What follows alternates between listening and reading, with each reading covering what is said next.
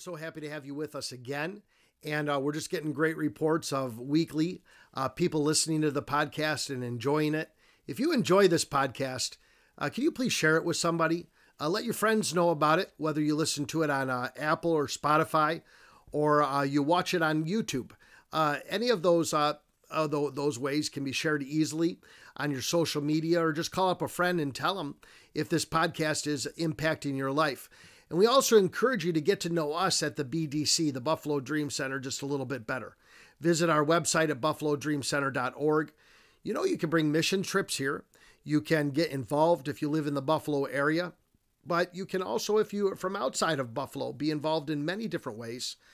And also, check out, I encourage you, the Facebook page for Love Honduras. That's our ministry that's happening right now overseas in Honduras. Lots of great things happening and uh, we're happy to have you as a part of it. Uh, last time we were together, we started a new series called The End Time Believer, and I wanted to continue with that today. Uh, we laid a foundation last week talking about the end times and how when we study the end times, we're to look at two different things that are happening in the world besides Israel. Of course, there's many prophetic things uh, concerning Israel, but then we look at the stream of what's happening in the world and the stream of what's happening in the church. Now, Jesus made it pretty clear that the last great event before his return would be a harvest of souls, the greatest harvest of souls that we have ever seen.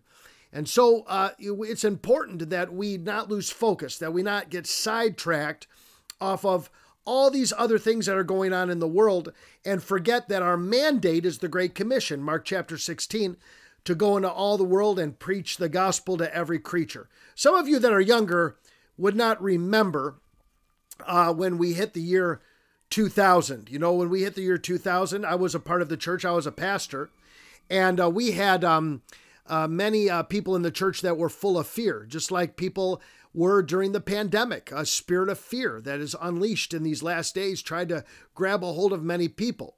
And I spent m- many of our Sunday mornings at the Dream Center preaching against fear. And we uh, did more outreach than we ever did before uh, and had a great time seeing people give their lives to Jesus during the pandemic. But in the year 2000, everybody thought every computer in the world would crash, that when we went from 1999 to 2000, the computers wouldn't be able to figure it out. And instead of going to the year 2000, they would go to zero, zero and uh, that everything. Uh, I'll tell you, I knew people that were stockpiling their basements with uh, dehydrated water and getting ready for uh, for everything to to fall apart, and I, and people were full of fear.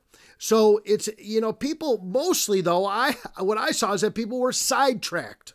They were off on something else and and the devil loves that. The devil loves the church getting off on all these tangents and all these things and forgetting our mandate. Our mandate is to get people saved. That's the most important thing. You know, whatever church you go to, every church will be different, have different characteristics. Every church will have different uh, flavors and different giftings. But every church, most important thing that should be happening is that people are getting saved. And so we're talking about that because in these last days, God is going to bring more people into his kingdom than ever before. We're going to see more people get saved than ever before. We're already seeing it, the, the beginnings of it, but it's going to be incredible.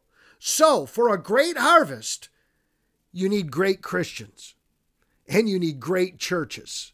Jesus is not coming back for a weak, pathetic church that can hardly survive. No, the Bible tells us he's coming back for a bride without spot or wrinkle. He's coming back for a glorious church, the Bible says.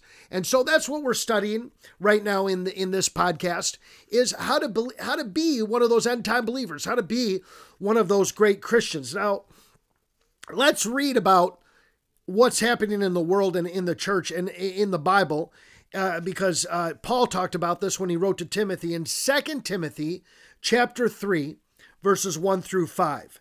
It says, But know this in the last days, perilous times will come.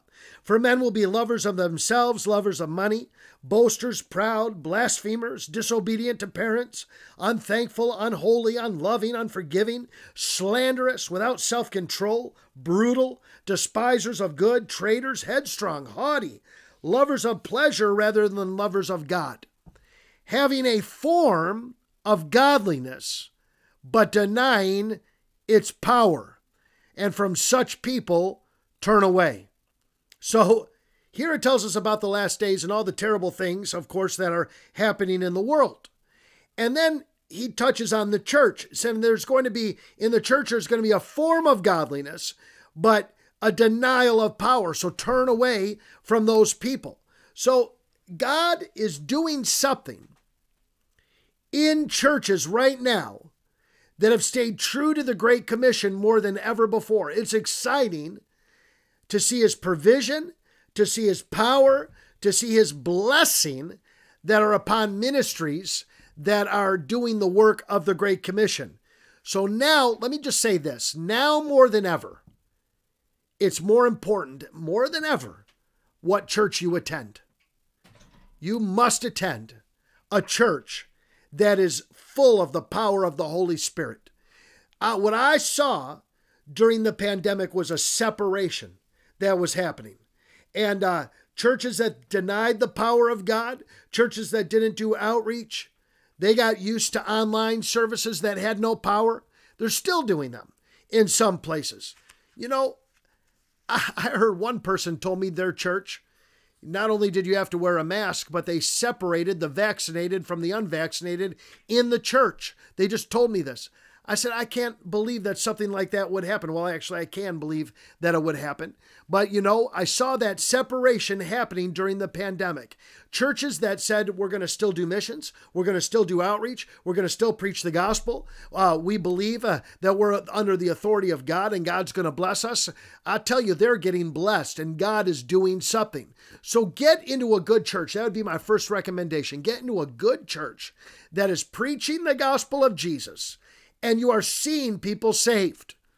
People should be coming to the altar every Sunday, getting right with God, getting touched by the, the power of the Holy Spirit. So we need the power of the Holy Spirit more than ever before. Remember, to bring in a great harvest, we need great Christians, and they come from great churches. And so I want to read to you a passage of Scripture that is often read when we study the end times, and it's Jesus talking to his disciples. The disciples came to Jesus and they said, Jesus, we want you to show us the sign of the end. What is the sign? They asked him. And this is what we have, uh, uh the story we have here in, in Jesus' response to this in Matthew 24, starting in verse 1. It says, Jesus went out and departed from the temple, and his disciples came up to show him the buildings of the temple. And Jesus said to them, do you not see all these things? Or surely I say to you, not one stone shall be left here upon another that shall not be thrown down. Now, as he sat on the Mount of Olives, the disciples came to him privately, saying, Tell us, when will these things be, and what will be the sign of your coming and the end of the age? Jesus answered and said to them, Take heed no one deceives you. For many will come in my name, saying, I am the Christ, and will deceive many. And you will hear of wars and rumors of wars. See that you are not troubled, for these things must come to pass, but the end is not yet. I want you to see this.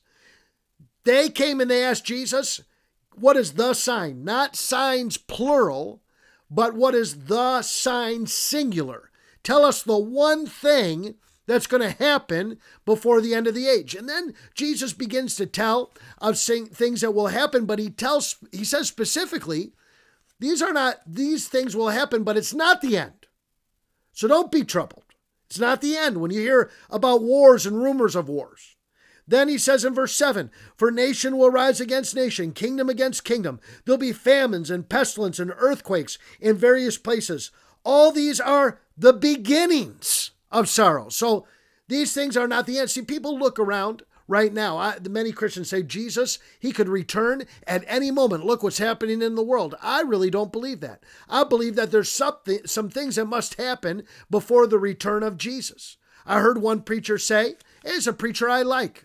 He said uh, everything's set. There's nothing else that can that has to happen before Jesus returns. Well, I disagree. Because uh, as we continue to read, Jesus is going to answer their question. Verse 9, it says, Then they will deliver you up in tribulation and kill you. You'll be hated by all nations for my name's sake. And then many will be offended, will betray one another, and will hate one another. Boy, have we seen this. Have we seen this happening in our world? Verse 11 Then many false prophets will rise up and deceive many, and because lawlessness will abound, the love of money of many will grow cold. But he who endures to the end will be saved. Now, Jesus never answered their question until the next verse, because they said, What is the sign, Jesus, of your return? Matthew 24 14 says this, And this gospel of the kingdom will be preached in all the world as a witness to all nations, and then the end will come. Hallelujah. Listen, if you don't know a little bit about this verse and uh, about the Greek language, uh, I tell you, the gospel has not been preached in every nation according to what Jesus said. Now, there's about 200 nations in the world, but Jesus wasn't talking about countries with borders. He was talking about ethnic groups distinct ethnic groups of people. And there's still several thousand ethnic groups that have not even heard the name of Jesus. Even where we going in Honduras, the first time we went into some of the Tolupan Indian tribes, they had never heard of Jesus. Some of them had never seen a white person. They, they ran and hid behind trees when they saw my wife and she's a beautiful person. So it wasn't because uh, she was ugly, it was because she was white. They said, We've never seen anything like that before. So we still have to take the gospel to many places. But Jesus says before he comes, uh, this gospel will be preached to every ethnic group. What is Jesus talking about here? He's talking about a great harvest, a great harvest of souls. So uh, remember this when you read about the end times, when you study the end times, when you hear a preacher about the end times, remember this. Remember what Pastor Eric said. It's always about the harvest. It's always about that. It should always be about that. Don't allow the devil to get you sidetracked with what's happening in the world around us. There is an antichrist spirit in the world now, that's for sure, that has attacked many nations, but we cannot put aside the Great Commission. We are called to win people to Jesus, and that's what God wants you to do. So exciting because, you know, God told the early church this was their mandate, and it's still our mandate today. Listen, if you want to be a part of some of a movement that's winning the lost, check us out at buffalodreamcenter.org. Be a part of what the Dream Center is doing. Get into a church. If you don't live in Buffalo, get into a church that is winning the lost, full of the Holy Spirit, because to bring in this last great harvest, we need great Christians that go to great churches. Father, I thank you for everyone listening right now to this podcast. Fill them with a fresh fire of the Holy Spirit. Raise up a great army to reap this great harvest in these last days. In Jesus' name, amen. Thank you so much for watching. God bless you.